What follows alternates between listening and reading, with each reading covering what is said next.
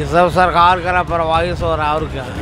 काम धाम ठीक से रेलवे में नहीं चल रहा न्यू इंडिया कौन इंडिया बन रहा है? घाटा बढ़ते जा रहा ये सिग्नल मैन का कमी है। सिग्नल मैन का।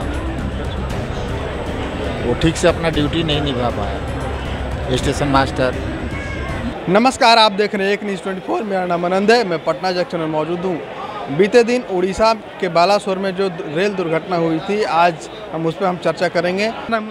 अर्जुन। कहाँ जा रहे हैं? भागलपुर। इतना बड़ा रेल हादसा हो गया उड़ीसा में जो कि 300 से 400 लोग मारे गए हैं। क्या कहिएगा इसकी कमी की वजह से है कमी क्या ये आकस्मिक घटना घटती है। किसी के कुछ करने से तो घटती नहीं है। लेकिन दोषी किसको दीजिएगा बताइए।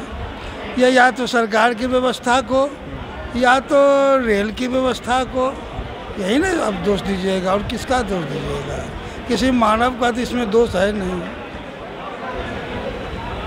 आपका क्या नाम है शिवशंकर नाम है कहाँ जा रहे हैं?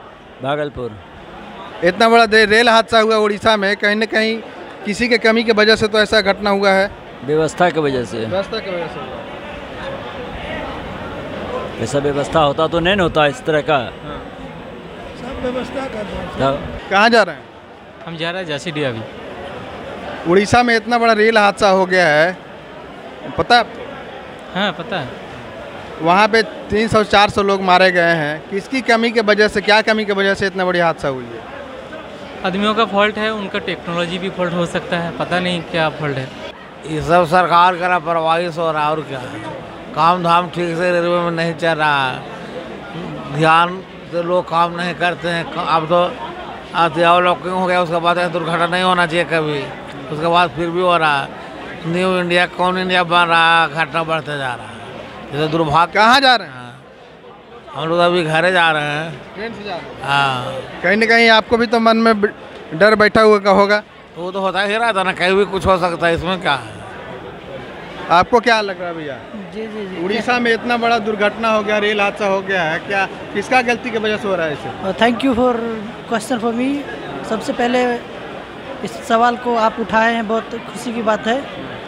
देखिए जहाँ तक बालासोर में ये घटना हुई है उड़ीसा में और अब तक के सदियों का सबसे बड़ा रेल दुर्घटना है ये।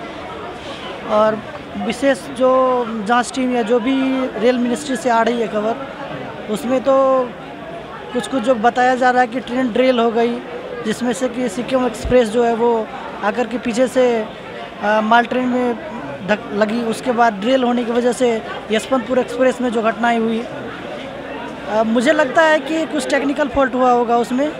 कहाँ जा रहे हैं बताइए? ये मैं अभी पूर्णिया जा रहा हूँ यहाँ से। ठीक है। ट्रेन से जाएँगे? जी जी ट्रेन से जा- कहीं ना कहीं आपको भी तो मन में डर बैठा होगा कि कहीं ट्रेन एक्सीडेंट ना हो जाए। नहीं देखिए अभी दुनिया का सबसे बड़ी रेल लाइन हमारे देश में है और सबसे ज़्यादा सफ़र कर रहा है। तो मेरे ख्याल से ये डर नहीं रखना चाहिए। ठीक है। तो डर मुझे नहीं लगता है ये तो संजोग की बात है इतनी बड़ी रेल लाइन है तो कहीं ना कहीं कुछ ना कुछ होने की संभावना है सरकार भी कोशिश कर रही है व्यवस्था क्या नाम है आपका? मेरा नाम टुन्नू है। अच्छा, कहाँ जा रहे हैं? मैं इस्लामपुर जा रहा हूँ लोकल यहीं ये उड़ीसा के बालासोर में जो इतना बड़ा दुर्घटना हो गया रेल दुर्घटना हुआ है कहीं ना कहीं किसी का तो गलती की वजह से ही हो रहा होगा क्या कहेंगे? क्या कहेंगे हो सकता है दुर्घटना कोई बड़ी बात है। इतने बड़े हिंदुस्तान में ट्रेन चल रहे हैं इतना इसकी मेरे जानकारी नहीं है कि आपको जानकारी दे सकते हैं। बस बस हो गया ये सिग्नल मैन का कमी है सिग्नल मैन का। वो ठीक से अपना ड्यूटी नहीं निभा पाया। स्टेशन मास्टर कहीं ना कहीं आपको भी मन में डर बैठा होगा कि इस तरह से इतना बड़ा रेल हादसा हुआ हुआ है और आप भी इतना लंबे सफ़र करने जा रहे हैं कलकत्ता जाने वाले हैं क्या लग रहा है? नहीं भय तो रहता ही है कि ऐसा कहीं गलत काम हो सिस्टम गलत हो जाए तब तो खामियाजा भुगतना पड़ेगा। तो ऐसे ही तमाम खबरों को देखने के लिए देखते रहिए एक न्यूज़ ट्वेंटी आनंद कुमार की रिपोर्ट पटना।